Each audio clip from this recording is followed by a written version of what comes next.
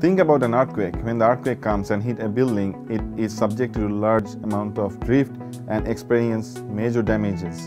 And when you have this damage, then what are the consequences? Huge economic loss because the building will not be functional, then you have to tear it down and go for new construction. If you can build such a structure with smart material or advanced material, what it will do is it will be subjected to large deformation, but it will not have permanent damage. When the earthquake is gone, it will help you snap back to the original position and the structure will be functional.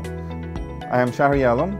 I'm an associate professor in the School of Engineering at UBC Okanagan. My research interest is about utilizing advanced, smart and sustainable materials which has a greater purpose in structural applications. My scope of research is within materials and structures. The way I look at it is whatever research we do, it should help in sustainable construction.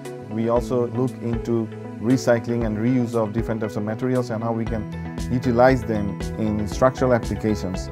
We currently see that there is huge interest, the type of research that we do all over the world. You see that the type of research that we have been doing gradually started being practiced. For example, last year in Seattle, they built a bridge using shape memory alloy as reinforcements. What it means that if an earthquake comes, the bridge will not experience permanent damage. Now you see that already people have started having a lot of interest in this kind of smart structural systems. There is a great future for this.